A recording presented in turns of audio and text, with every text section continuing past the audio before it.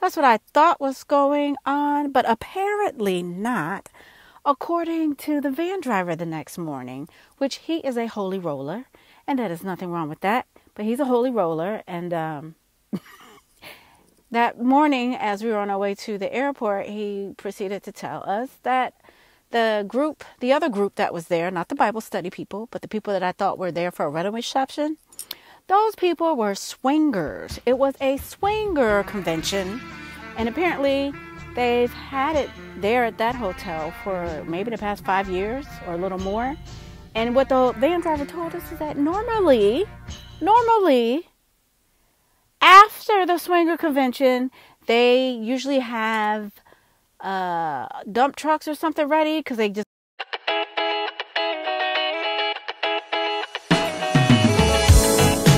Well, well, well, let me tell you about this weekend and all of the craziness that we encounter as flight crews when it comes to hotels. So, I didn't get enough rest, proper rest, just because both uh, overnights which will be nameless. I won't say the hotel chain. They are part of chains. Actually, it's the same one. It is the same one, but in two different states, two Commonwealth states, by the way. Um, well, the first night we were there, and they had two events going on. One where people were getting dressed up, maybe it was like a wedding or something, or a reception, and then the other event it was like a bunch of parents, mostly men, with their boys. Their you know kids were like under like 10 and under. So that was quite annoying.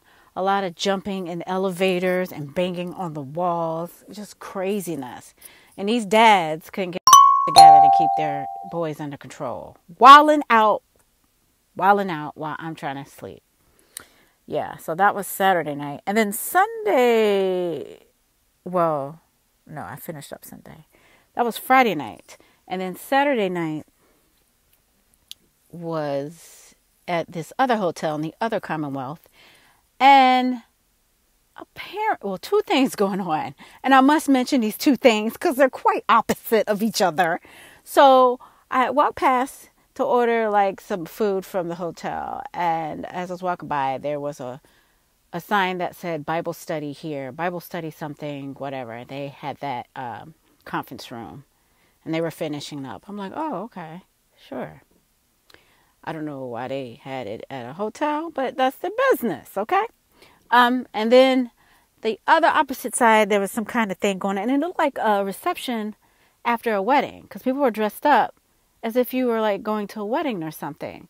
That's what I thought was going on, but apparently not, according to the van driver the next morning, which he is a holy roller, and that is nothing wrong with that, but he's a holy roller, and um, that morning, as we were on our way to the airport, he proceeded to tell us that the group, the other group that was there, not the Bible study people, but the people that I thought were there for a wedding reception, those people were swingers. It was a swinger convention, and apparently they've had it there at that hotel for maybe the past five years or a little more. And what the van driver told us is that normally, normally, after the swinger convention, they usually have uh, dump trucks or something ready because they just get rid of the beds. Now, I would personally burn them, but maybe they are going off collecting the beds and they go put them somewhere in some kind of inferno. I don't know. Whatever. They get dumped, they get trash because you had swingers in your hotel. Swingers. If you don't know, I'm not talking about dancing. I'm talking about sexual partners being swapped, husbands, wives, girlfriends, whatever, or group sex, other kind of crap. Swingers. Look it up. Google it if you don't know what I'm talking about. Anyway, that's quite disturbing.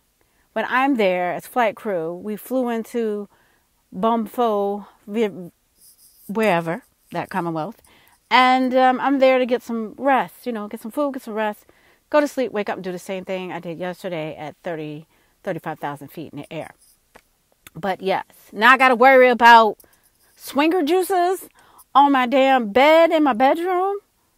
I mean, my bedroom, in my hotel room. Swinger juices. That is disgusting. Anyway, I did have to actually call down to the hotel front desk because the swingers on my right decided they wanted to play MJ.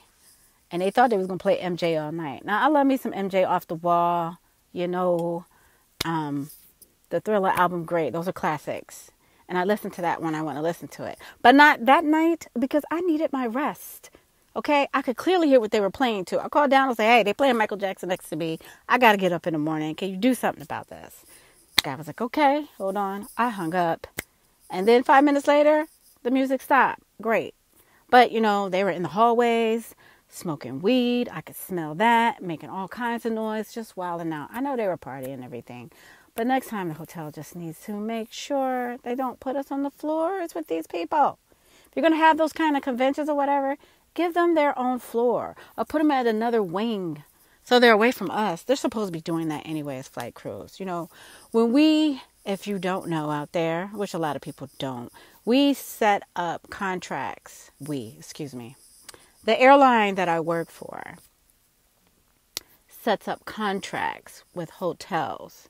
And there's certain rules that have to be honored by the contract so that we're safe as crew members we can get plenty of rest that's undisturbed, and we have transportation to and fro the hotel airport. Um, transportation is big. Okay. Sometimes they put things in the contract where they provide us with breakfast or at least a to go bag or um, discount on the hotel restaurants. Sometimes their the hotel doesn't have a gym, but there's a close gym nearby, and they work out something with that. Sometimes a free pass, sometimes a discounted pass, things like that. Those little things are in the contract. But the main thing that will get us kicked out of, or not kicked out of a hotel, the main thing where my company will drop the hotel is we don't get transportation, proper transportation to and from the airport, mostly to the airport where we have to report to work and get that flight out on time that'll null and void that contract if that happens more than once because their priority is getting those flights out. Their priority at my airline and most airlines, but this airline is the completion factor and on time departures. Nothing else matters. And I mean, nothing else matters. Do you understand what I just said? Nothing else matters but that. I know they say safety first and all that, mumbo jumbo BS. And it has to really be first because if people get hurt and stuff, people can't complete their job. But I swear to God, I mean every word that I say when I tell you. Nothing else matters. But getting that flight out on time and that damn completion factor, that will be on your ass. They will be on your ass. So that was my weekend um, in a nutshell. And uh, mind you, I have the seniority, high enough seniority where I don't really work the weekends 90% of the time, but I'm coming off a vacation month. And yeah, that's what I just end up into a weekend trip, which is fine. I'll work one here and there. But I've done enough weekends in this career with this company that I really shouldn't have to do very many. Yes, that's how arrogant I am, but it's true. I've paid my dues. Okay? So, anyway, this podcast is really about crazy ass flight attendants from the past up until now. Stories that I've been seeing that some flight attendants have been doing some very unethical things. And this is not a representation of all the flight attendants in all of America or North America or the world these are individuals that happen to have this uh, occupation doing stupid shit because they themselves are ridiculous and crazy. But that's what we're going to talk about. All right, so let's start with number one. Uh, this happened, it was published anyway in the Washington Post on October 3rd, 2022 at 8 a.m. The story is by Hannah Sampson and the title is Flight Attendant Charged with Stealing $8,000, a $8,000 bracelet from the TSA line. It says a Florida woman in flight attendant uniform was caught on video grabbing a bracelet set. DC area authorities have said.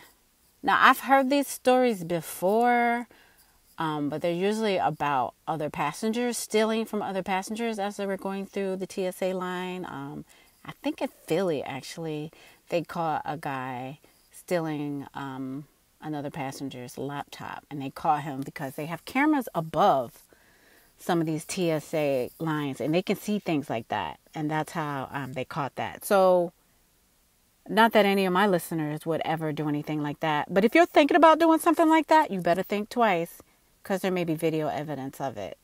Don't do it. We're all trying to just get from one place A to B. I mean, I know the economy is going to crap, but just don't do it.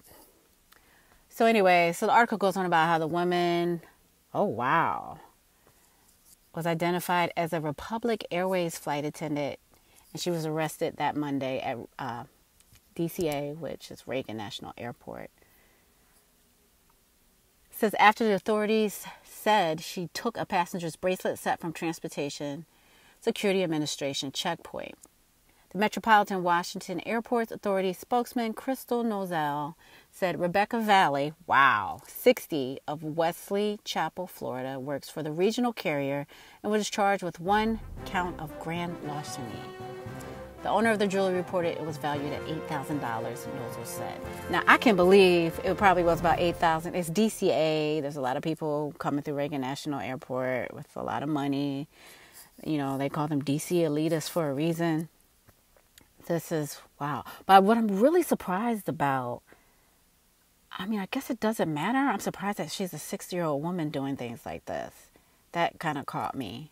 Because I'm reading this article as I'm recording this podcast. I didn't read it beforehand. I just read the headline, so I knew it was, you know, craziness flight attendants are out there doing, or a few of us. But anyway, it goes on to read that the police department for the DCA area airports authority did not immediately respond to a request for the arrest report on Monday. TSA spokesman Lisa Farbstein said in an email that the victim, who has not been identified, told security workers that her jewelry was missing after she went through the checkpoint. So I wonder what this article is going to go on. How did she get caught? Let's, let's find out. Says officers of the Metropolitan Washington Airports Authority Police Department and TSA examined records. Hmm. Rec- excuse me. Recordings. What kind of recordings are these? Probably video. Like I said, they have video above above the uh, the screening belt. So again, people, don't do it. Okay? So, anyway, let me continue on. I'm sorry, I interrupted myself. So it says, yeah, they examined the recordings of the checkpoint and saw a second traveler in a flight attendant uniform pick up the jury, Farbstein said. Police found the alleged thief in the airport terminal. Wow. Republic Airways did not respond to a request for comment late Monday. The regional carrier operates flights from America for American Eagle Delta Connection, and United Express. Wow. That's crazy. Mm. And it sure wasn't worth it. You know, I don't, maybe a lot of flight crew don't realize that. I realize that, like I said, that there are a lot of times there's cameras above and people don't realize it. There's cameras all over the airport, people. So make sure you're aware. And I see them. They try to keep them kind of uh, how would I say, blurred out or not obvious. But I mean, we all know those stupid cameras are in those black balls that they have above your head. I'm very aware of that stuff. I'm very aware of passengers with their camera phones out, camera phones, with their smartphones that have cameras. We all have that. So you just have to be aware of that. I mean, you shouldn't be or wanting to take other people's possessions anyway. Um, but just be aware of that. They are above the screening belts, whether you realize it or not. So I don't know what this flight attendant was thinking. Um, I guess she thought she was going to get away with it. I don't know. I can't speak about what's going through her mind at that moment. But wow, yeah, keep an eye on your things. That's why they want people, they want you to push your um, items through when you go through that helps them out too. They know it's you coming through, and then you can kind of watch as you're coming through your stuff coming down the line. There's not people that went ahead of you and can grab your stuff. Things like that. So I'm looking at one tweet here. They're talking about how the flight attendant stealing from a passenger, the global recession really must be on the way. Wow. Now this is uh this tweet is from Washington, oh excuse me, Washingtonian Problems. Yeah. Let me repeat that. Not the A flight attendant stealing from a passenger. The global recession really must be on the way. And then they put in there, uh, let me see, Washington problem alert. My mom has pre check and was at DCA this morning. They made her take off her jewelry at TSA and someone stole it. They ran the tapes and it was a freaking flight attendant. Wow. So remember, folks, you're at TSA, they are recording. They are recording you. Don't pull any crap. Just get your stuff. Get your stuff. So then the continue, article continues on with, you know, the arrest echoed a similar scenario from last weekend. It says that a man was arrested after being accused of stealing a wedding band, wow, from a security checkpoint at Newark Liberty International Airport. The suspect was waiting for his flight to leave when police took him into custody. Authorities returned the ring to its owner. Cool. At least they were able to catch them. Uh, that's pretty quick, you know. It's pretty quick. He thought, and you know, probably in his mindset, he thought like, "Oh, I'm going through security. I'll swipe that up. I'll get on my flight. Nobody's gonna catch me." Oh no, they caught you, sucker. You got busted and they caught you before you got on your flight. Wow. But that was a pass- another passenger. But like I said, I've heard stories of other passengers doing things like this to another passenger. I don't really hear too many stories about flight attendants doing this type of stuff. So on more on to more crazy news about flight attendants. So this story is a little kind of personal for me because uh, I kind of know somebody in this story. That's all I'm gonna say. Uh, anyway, this is goes all the way back to 2011. Well, the story was originally published in 2011. From what I can remember, it was around that time. Um, so this article is coming from the Seattle Times, and it's titled "Former Flight Attendant Sentenced for Setting Plane Fire." Okay, they were sentenced for setting a plane on fire on purpose. So this was originally published December 21st, 2011. Again, this is Seattle Times. Uh, the subtitle is A Former Flight Attendant Who His Lawyer Claims Wanted to Be a Hero When He Set Fire to an Airplane Bathroom and Then Helped Put Out the Blaze was sentenced Friday to more than six years in prison. Wow. See, I didn't follow up with what happened to this guy. But uh, yeah, so he got six years in prison. I originally heard the story because I know a friend of a friend uh, this actually happened at Compass Airlines. And they were going, oh, they were going from Minneapolis to Canada. So Regina, Saskatchewan is where they were going. Or Regina. I think it's Regina is how they say it. I actually know somebody from Regina.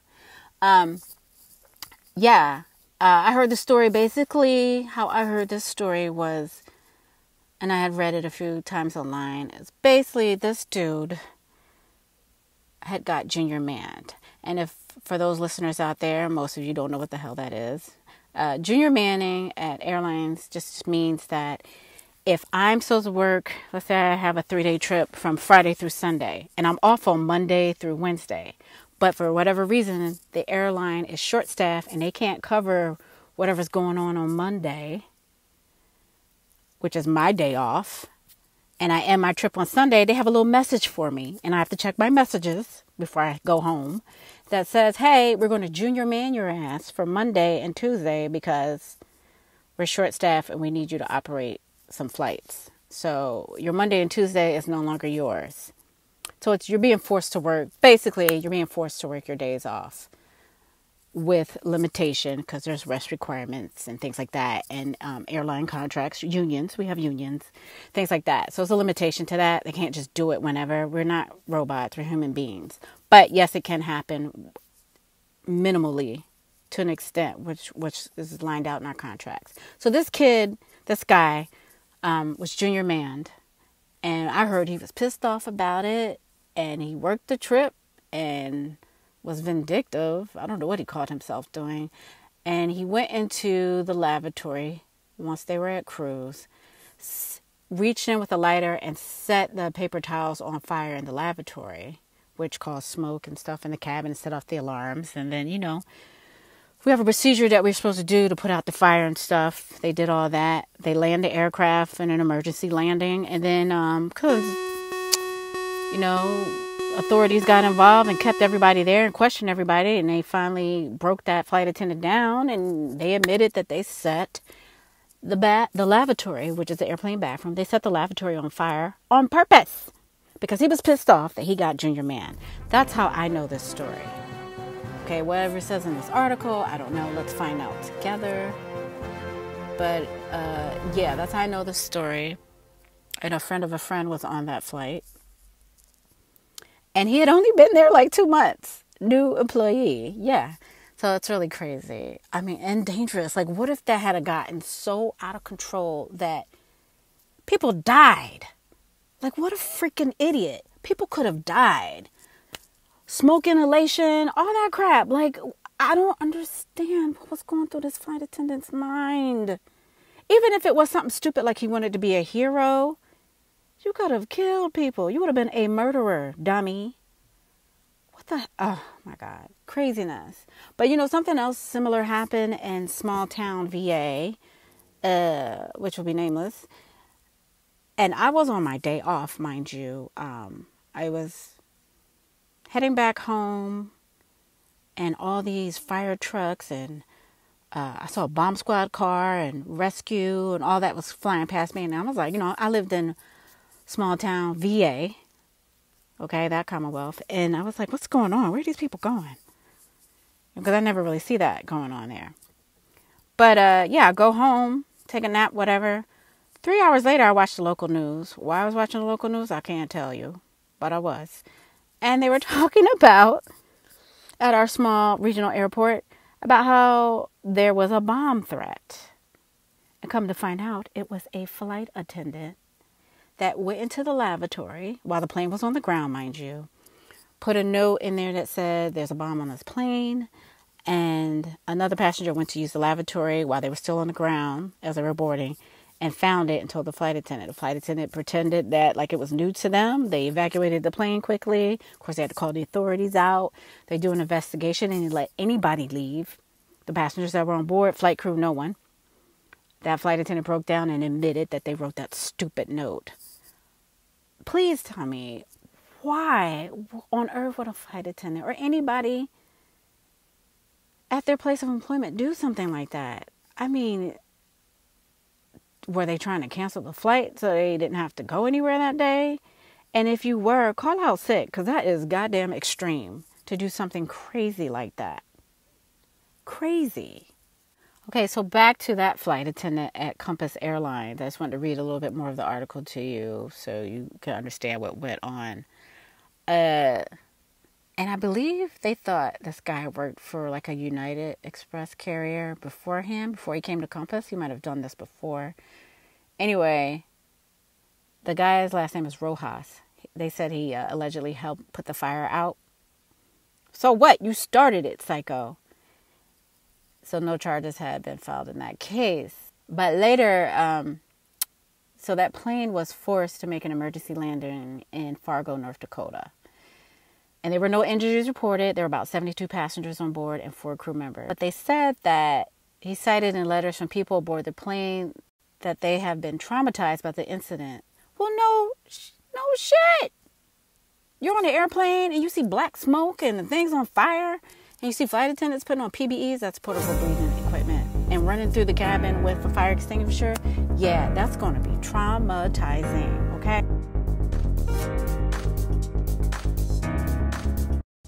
Hey guys, just real quick, if you like this podcast, don't forget to subscribe and shoot me an email.